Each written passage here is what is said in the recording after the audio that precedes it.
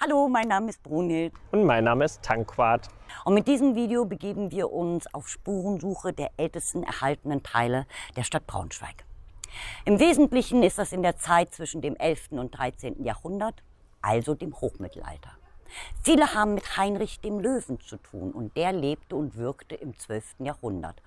Und in dieser Zeit trieb er den Wachstum der Stadt Braunschweig im Wesentlichen voran. Während wir heute aber von Braunschweig sprechen, müssen wir uns vor Augen halten, dass es sich dabei eigentlich um fünf einzelne kleine Städte handelt oder Stadtbezirke. Man nennt sie auch Weichbilde.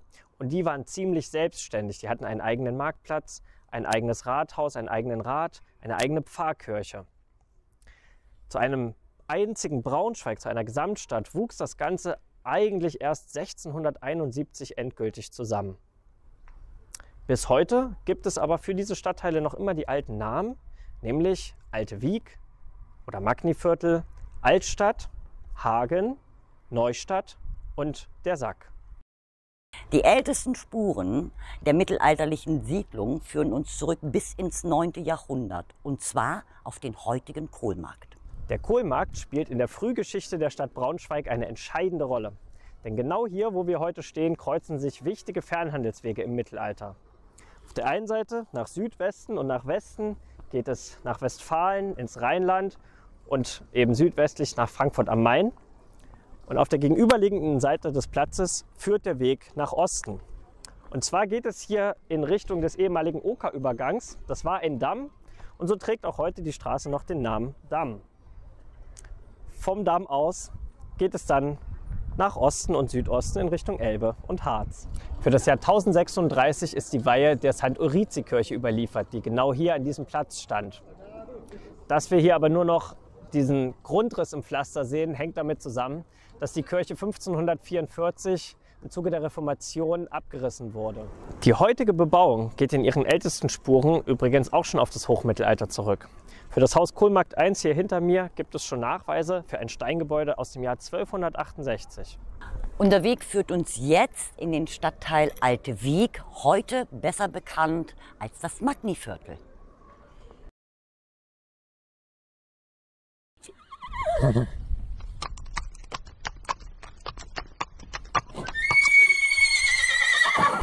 Wir befinden uns jetzt im Magniviertel mit seinem zentral gelegenen Magni-Kirchplatz und mit der im 11. Jahrhundert errichteten Magni-Kirche ist es eines der ältesten Stadtteile hier in Braunschweig.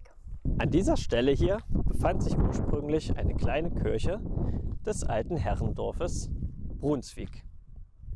In ihrer Urkunde, in ihrer Weiheurkunde aus dem Jahr 1031 zu Ehren des heiligen Magnus, wird zum ersten Mal der Stadtname Braunschweig erwähnt, in seiner Form Bruneskig. Die Kirche selbst ist von 1252 an umgebaut worden in eine dreischiffige Hallenkirche. Sie hat einen gotischen Glockenturm, in dem sich auch eine der ältesten Glocken Braunschweigs aus dem Jahr 1335 befindet. Der Name Brunswick galt also ursprünglich nur für diesen Stadtteil hier.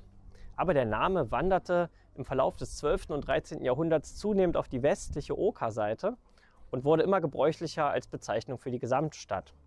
Und dieser Stadtteil hier, der bekam dann den Namen Alte Wieg. Nicht weit von hier begeben wir uns jetzt in das 12. Jahrhundert, was uns Heinrich dem Löwen immer näher bringt.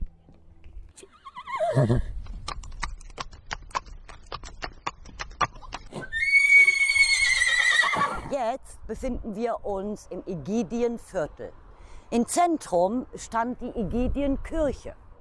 Nördlich der Kirche, also hier, wo wir jetzt stehen, befindet sich der Ägidienmarkt. Und der wurde in der mittelalterlichen Siedlung Alte Wieg als Marktplatz genutzt. St. Ägidien war das Gotteshaus des gleichnamigen Benediktinerklosters. Gegründet wurde dieses im Jahre 1115 von der brunonischen Markgräfin Gertrud. Das war die Urgroßmutter von Heinrich dem Löwen. Beim großen Stadtbrand im Jahre 1278 brannte die ehemals romanische Kirche und auch die Klostergebäude ab. Daraufhin wurde eine neue Kirche errichtet im gotischen Kathedralstil.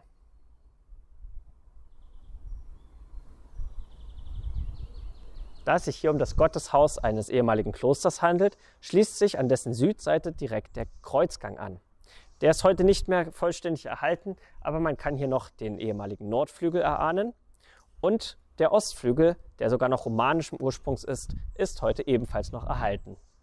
Dahinter befand sich früher die Sakristei, der Kapitelsaal, also der Versammlungssaal der Mönche, das Parlatorium, das ist der Raum, in dem man sprechen durfte, und das Refektorium, der Speisesaal der Mönche. Darüber, hinter den Spitzbogenfenstern, versteckt sich das ehemalige Dormitorium, das ist der Schlafsaal der Mönche. Während die Kirche heute Pfarrkirche der katholischen Propsteigemeinde St. Egidien ist, gehören die ehemaligen noch erhaltenen Teile des Kreuzgangs heute zum Braunschweigischen Landesmuseum. Übrigens, unser Weg führt uns jetzt zum Hauptstandort des Braunschweigischen Landesmuseums. Und der führt uns direkt mitten ins Herz von Braunschweig auf dem Burgplatz.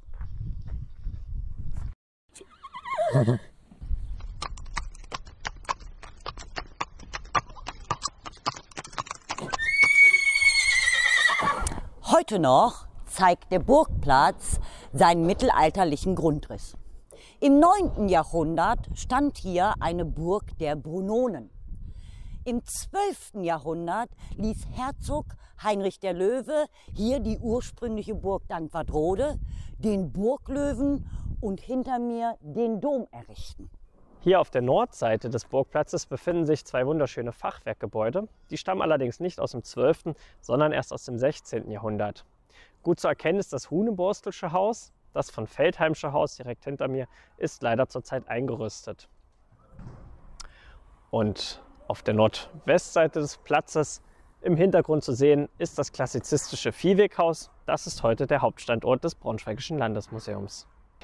Der Braunschweiger Burglöwe wurde um das Jahr 1166 herum errichtet. Heinrich der Löwe ließ ihn aufstellen als Symbol seiner Macht.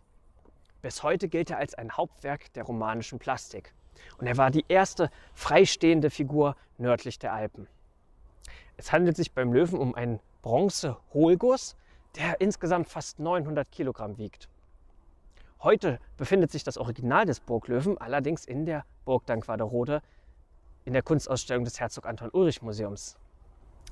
Hier befindet sich seit 1980 eine naturgetreue Nachbildung. Höchstwahrscheinlich um das Jahr 1175 herum ließ Heinrich der Löwe die Burg Dankwaderode errichten. Und zwar an der Stelle einer ehemaligen Niederungsburg der Brunonen. Sie ist gestaltet nach dem Vorbild der Kaiserpfalzen. Und was wir hier sehen, ist im Grunde der Palas, das heißt das Wohngebäude der Burg. Dieser erlitt aber viele Schäden über die Jahrhunderte hinweg, nicht zuletzt durch einen großen Brand. So kam es, dass 1887 bis 1906 Ludwig Winter die Burg wieder aufbauen ließ und zwar in historisierender Manier. Es handelt sich also heute um eine Rekonstruktion, die wir sehen. Da, wo sich heute der Turm der Burg befindet, stand im 12. Jahrhundert übrigens eine kleine Kapelle. Die Burg ist heute Ausstellungsort, und zwar der Mittelaltersammlung des Herzog Anton Ulrich Museums. Im unteren Saal, dem sogenannten Knappen Saal, werden mittelalterliche Kunstwerke wie Altarbilder, Reliquiare und Gewänder und natürlich das Original des Braunschweiger Löwen ausgestellt. Im Obergeschoss der Burg, da befindet sich der prächtige Rittersaal.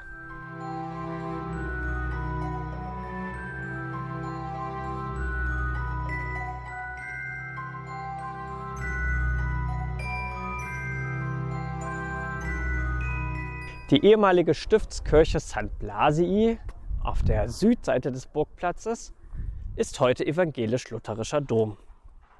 Sie wurde in den Jahren 1173 bis 1195 errichtet, nachdem Heinrich der Löwe von seiner Fahrt ins Heilige Land zurückgekehrt war. Er bestimmte diese Kirche als seine Grablege und wurde dort auch 1195 neben seiner Gemahlin Mathilde von England bestattet. Die Gräber seines Sohnes Otto IV., der deutscher König und Kaiser war, und dessen Gemahlin Beatrix von Schwaben befinden sich ebenfalls im Dom. Die zunächst als dreischiffige Basilika errichtete Anlage wurde bis heute mehrfach erweitert, umgebaut und rekonstruiert. Ganz bedeutend ist die mittelalterliche Ausstattung des Doms. Da wären zu nennen der Marienaltar, der siebenarmige Leuchter, das hölzerne Kruzifix des Meisters Immerwart oder auch Immerwart-Kreuz genannt und nicht zuletzt die Grabmale Heinrichs und Mathildes, die um das Jahr 1250 herum entstanden sind. Wir verlassen jetzt den Burgplatz und setzen unsere Spurensuche fort. Ach ja, und die führt uns in den Stadtteil Hagen.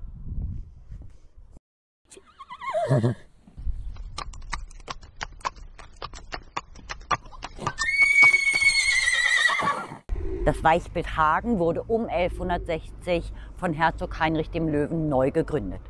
In dessen Zentrum liegt der Hagenmarkt, auf dem wir uns gerade befinden. Der Markt wird überragt von den beiden Türmen der St. Katharinenkirche.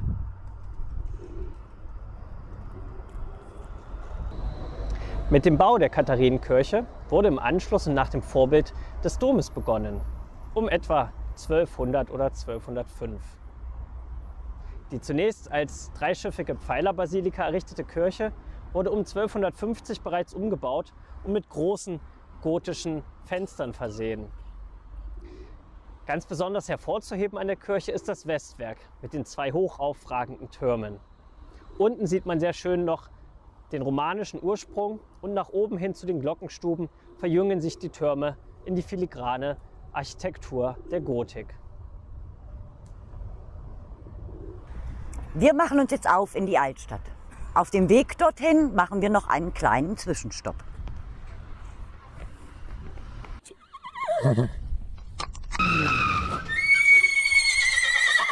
Bei der Hagenmarkt-Kemenate handelt es sich um eines der wenigen weltlichen Gebäude, das uns noch aus dem Hochmittelalter erhalten geblieben ist. Es handelt sich um einen zweigeschossigen Steinbau auf einem fast quadratischen Grundriss.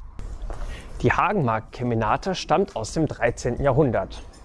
Das Wort Kemenate leitet sich vom lateinischen Caminata ab, was so viel wie Kaminzimmer bedeutet. Es handelt sich hierbei um eine typisch norddeutsche Bauweise eines Doppelhauses, das heißt ein Vorderhaus aus Stein und ursprünglich, heute nicht mehr zu sehen, schloss sich ein hölzernes Fachwerkgebäude an. Und in diesem Steingebäude, da wohnte man nicht nur im beheizbaren Kaminzimmer, sondern man bewahrte auch die wichtigen, kostbaren Güter auf. Denn Steinhäuser sind verständlicherweise nicht so anfällig gewesen für Brände, wie sie sehr häufig in den mittelalterlichen Städten vorkamen.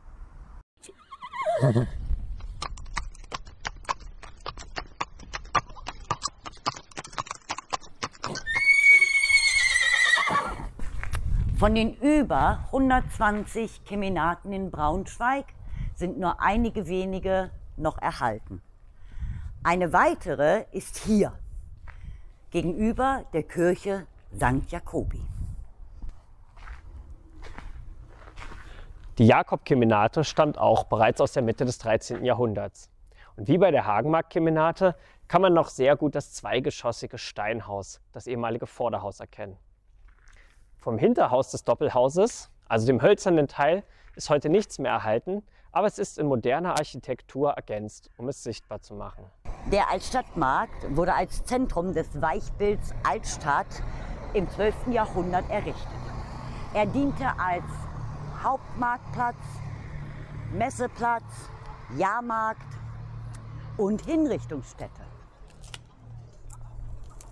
Das Braunschweiger Altstadtrathaus gehört zu den bedeutendsten mittelalterlichen Rathäusern in ganz Deutschland. Seine älteste Bausubstanz geht auf das 13. Jahrhundert zurück. Ja, wie der Name sagt, traf sich im Altstadtrathaus der Rat des Stadtteils Altstadt. Das Gebäude besteht aus zwei Flügeln, die in einem rechten Winkel aufeinandertreffen. Und im Laubengang unten, da gibt es noch etwas zu entdecken, was ich euch gleich zeige. Der Westflügel ist der älteste Teil des Rathauses. Mit seinem Bau wurde schon Mitte des 13. Jahrhunderts begonnen. Der Nordflügel und die zweigeschossigen gotischen Laubengänge, unter denen ich hier stehe, die stammen aus dem Ende des 14. Jahrhunderts. Auf den Säulen sind dargestellt mehrere sächsische und welfische Herrscherfiguren.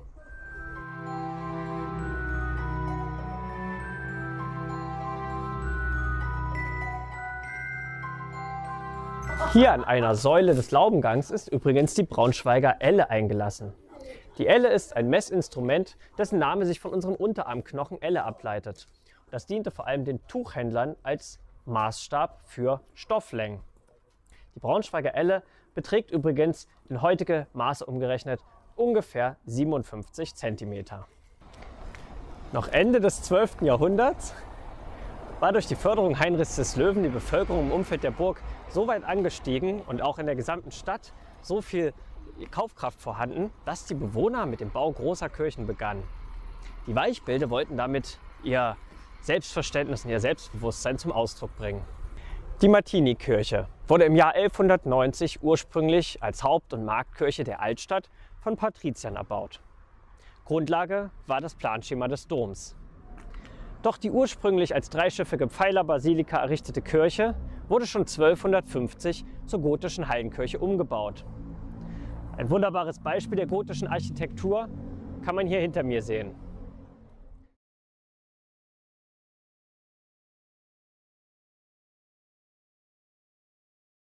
Von der romanischen Bauphase ist vor allem der Westbau erhalten, mit Teilen einer romanischen Glockenstube.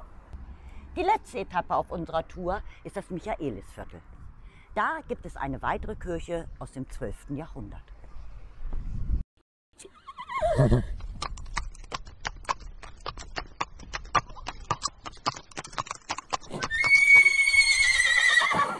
Hier im heutigen Michaelisviertel lebte im Hochmittelalter die, der ärmere Bevölkerungsteil der Altstadt. Aber die Bürger bauten sich durch eigene Hände Arbeit und mit Hilfe von Opfergaben diese Kirche, weihten sie dem heiligen Michael. St. Michael ist für das Jahr 1157 urkundlich erwähnt. Vermutlich stand hier zunächst ein einschiffiger romanischer Bau, aber wie auch bei vorherigen Beispielen wurde dieser im 14. Jahrhundert zu einer gotischen Hallenkirche erweitert. Der Turm hier im Vordergrund stammt noch aus dem 13. Jahrhundert.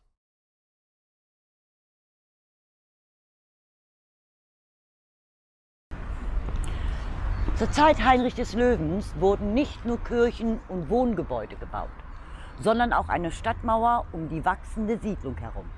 Überreste davon können wir heute noch finden.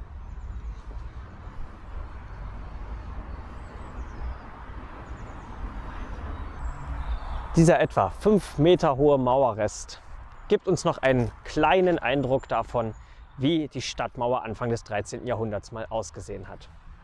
Diese Mauer ging hervor aus den einzelnen Weichbildmauern als Ummauerung der Gesamtstadt. Begonnen wurde Ende des 12. Jahrhunderts noch auf Initiativen Heinrichs des Löwen, dann aber vor allem unter seinem Sohn Kaiser Otto IV. wurde diese Mauer erweitert und vollendet bis im Jahr 1218. Es handelt sich um eine Buntsandsteinmauer mit auch Türmen damals und einem vorgelagerten Graben. Damit endet nun unsere mittelalterliche Spurensuche. Wir haben vieles entdeckt, das zwischen 800 und sogar 1000 Jahre alt war, mitten hier in Braunschweig. Bei eurem nächsten Spaziergang durch die Stadt haltet die Augen offen. Es gibt noch viel Historisches zu entdecken. Und wer weiß, vielleicht laufen wir uns ja auch noch mal über den Weg. Bis dahin sage ich Tschüss, eure Brunhild und euer Tankwart.